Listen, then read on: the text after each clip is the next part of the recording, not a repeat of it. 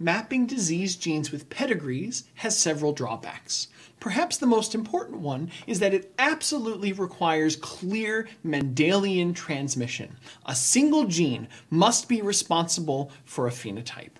And as we now know, many important health conditions, such as type 2 diabetes or heart disease, they have a major genetic component, but they aren't Mendelian traits per se.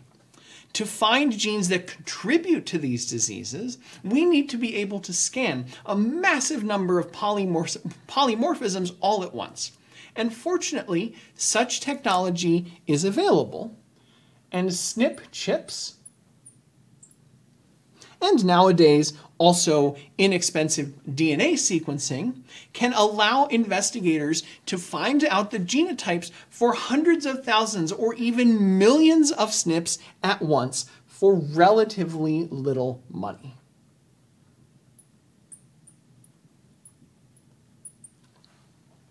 And so what do you do with all of that data? Well, let's say that we had a thousand people with heart disease and a thousand people without heart disease. And let's say that we looked at all of these millions of SNPs and we found one of them where 700 of the people with heart disease have an A and the rest have a C. And in the people without heart disease, let's say 400 of them have an A and 600 of them have a C.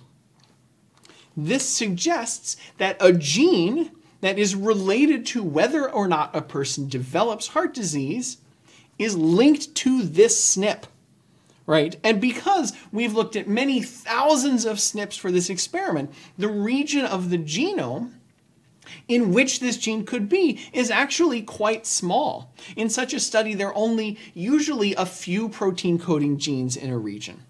And so then, once we have those genes, we can actually go learn more about them and we can see how or if any of them are actually molecularly related to the development of heart disease. And so note that I was quite careful to say that a gene related to heart disease might be in this region.